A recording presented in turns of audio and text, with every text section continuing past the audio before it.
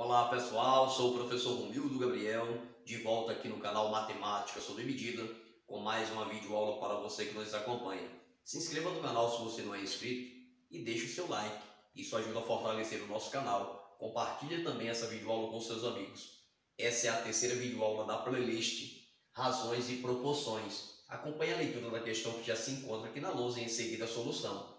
É uma questão da Universidade Estadual da Paraíba, de 2014, se não me falha a memória.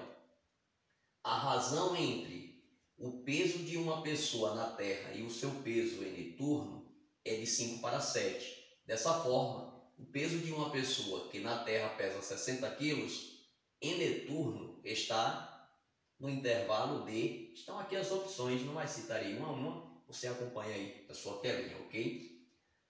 Esse conteúdo é considerado até um dos mais fáceis dentro da matemática. Razões e proporções.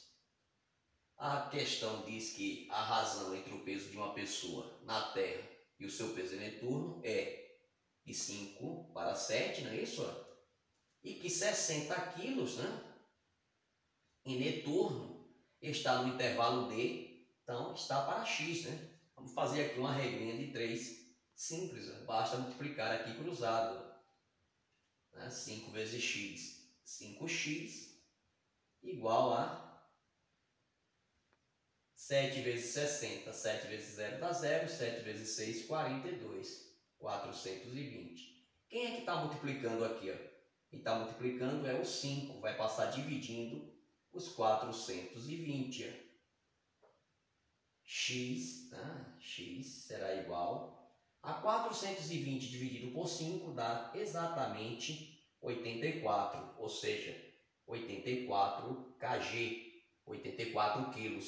Portanto, a alternativa correta é a letra E, não é isso? Está entre 80 quilos e 85 quilos. Uma questão bem simples aí.